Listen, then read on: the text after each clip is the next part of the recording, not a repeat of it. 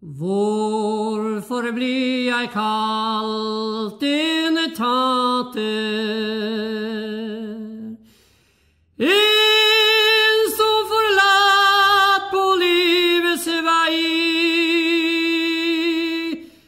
Vandrer jeg omkring på livets landevei. En som forlatt på livets vei. Hvorfor blir jeg kalt en tater?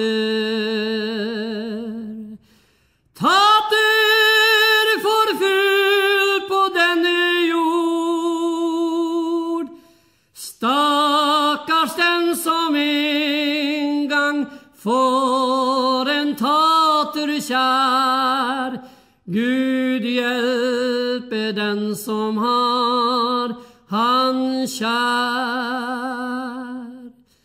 Hvorfor blir jeg kalt en tater?